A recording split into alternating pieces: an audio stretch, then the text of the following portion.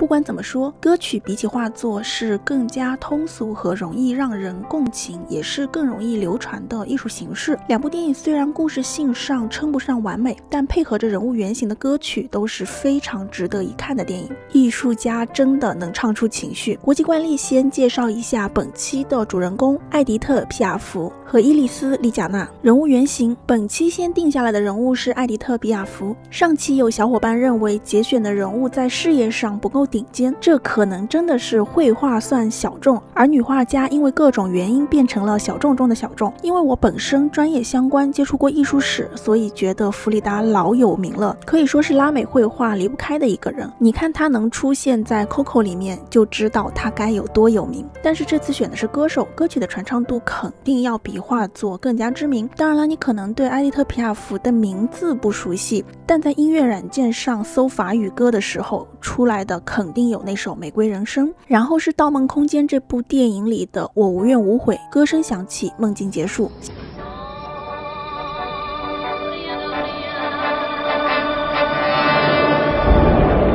信大家多少会有点印象吧。皮亚夫的人生真的挺惨的，虽然父母说好听点叫表演艺术家，但事实上就是自己都喂不饱的街头艺人。贫民窟出生，妓院里长大，由于生活卫生极其堪忧，严重的角膜炎让他几乎失明，身高也不到一米五，所以有了这个外号“小云雀”。在事业到达巅峰的中年，遭遇了一场严重的车祸，加上情感方面的负面情绪，他染上了吗啡，开始酗酒。最终，四十七岁的年纪死于肝癌。就在皮亚福发布《玫瑰人生》的一九四五年，伊丽丝·丽贾娜出生于巴西。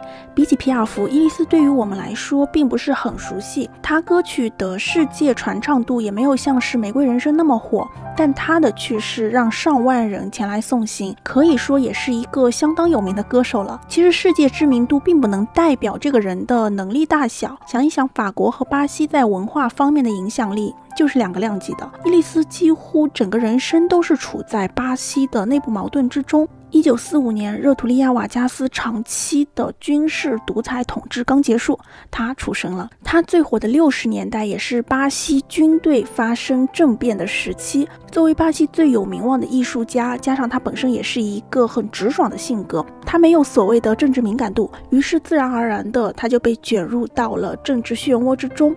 这个部分呢，我不多做评论了。就总而言之呢，我是会非常理想化的追求表达自由的人。我不懂政治。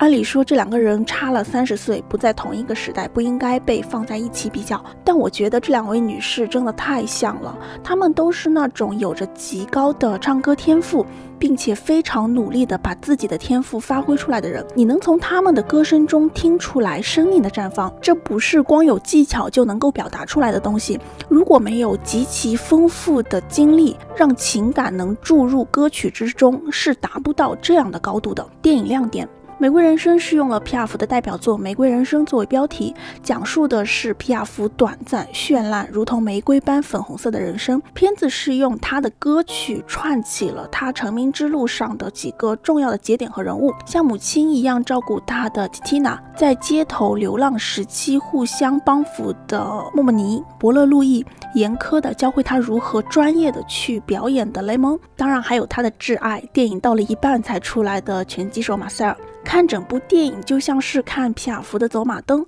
其中最能够体现这一感觉的就是马塞尔死后的那颗尾长镜头，黑屏淡入，睡醒的皮亚福看到许久不见的恋人在自己的床边，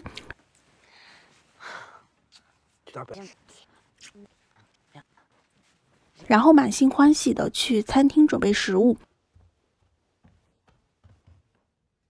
但是旁边的人都闷闷不乐的样子。他把食物端到床边给马塞尔，然后去找给他准备的礼物手表。路上再次特写旁边闷闷不乐的人。这个时候，我们其实已经可以开始察觉到事情的不对劲了。皮亚夫一直找不到手表，开始了奇怪的愤怒。接着，所有人都集中在了客厅里。路易告诉他马塞尔飞机失事的事情，一个不稳定的手指环绕，皮亚夫逐渐崩溃。最终他接受了马塞尔失踪的事实。此时，他写给马塞尔的爱的赞歌适时的响起。皮亚夫崩溃的往前走，最终走向了舞台。切到演出，继续下面的故事。这一段哪怕没有用色调灯光来区分现实与想象，但你从镜头的调度和演员的表演就能很快的察觉出来不对劲。最后走向舞台，真是神来之笔。皮亚夫爱马塞尔，他为他崩溃过，但马塞尔不是他的全部，他还有歌唱。我太喜欢这部电影了。伊丽丝的叙事编排并没有像是《玫瑰人生》那么精彩，它就是中规中矩的传记电影的套路，比起《玫瑰人生》更加的写实。但把两者结合起来看，就很容易发现，伊丽丝里很好的体现了皮亚福遇到但电影中被隐去了的政治问题。皮亚福给德军演出，伊丽丝给巴西政府演唱。我们最理想的状态自然是艺术的纯粹性，但政治和艺术就像是互相纠葛的双链，无法被分开。皮亚夫最火的时候正好是二战，参考同时期最火的也是生活在法国的毕加索。就毕加索抽象派需要一定的理解鉴赏能力才能够看懂的画家，他都会被监管起来，更别说皮亚夫这种更加具有传播能力的人了。然而事实上，他去给德军演出的事情一直是存在着较大的争议的。有人觉得是协助救人，有人觉得是叛国。那不管怎么样吧。皮亚夫是国葬，电影没有采用这个大事件，这个做法我是认可的。如果放进去了，它就会破坏了这个故事的艺术性和缥缈感。毕竟这是传记电影嘛，对人物的大事件做取舍是应该的。这种政治的写实放在伊丽斯里更加合适。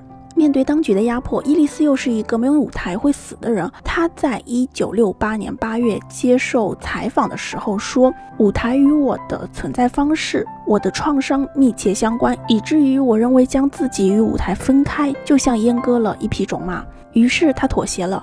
看着她在舞台上表演的样子，哪怕知道她是无奈之举，朋友们还是愤怒了。这里也是我觉得比较可惜的地方。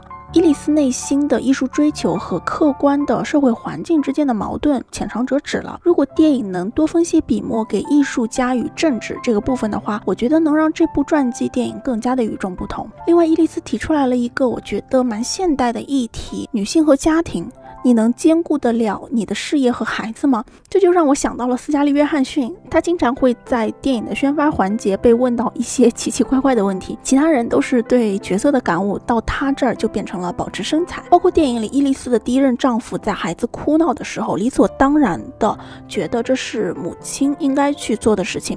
这是不是就是我之前说的母爱诅咒？只因为母体诞下了生命，就背负起了枷锁。这里我不多做扩展。因为伊丽丝并没有因为有孩子就束手束脚，她爱自己的孩子，但她明白她为创作而生。女性没了爱情，还有她们自己。在上一期弗里达和海莲娜的时候，我非常困惑地提出了一个问题：女性没了爱情还有什么？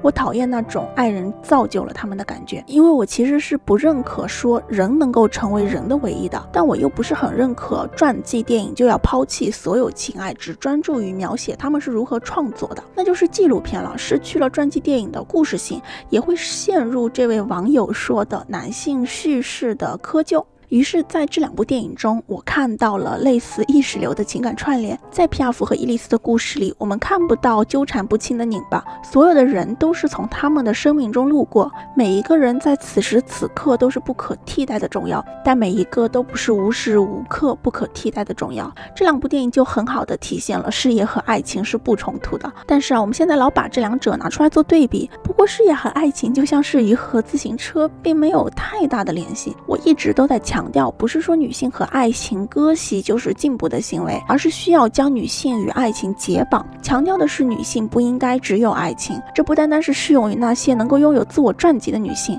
它适用于所有人。当然了，爱是这两部电影绝对的主题，只是这份爱已经不再局限于男女之情，它是一种感受的状态。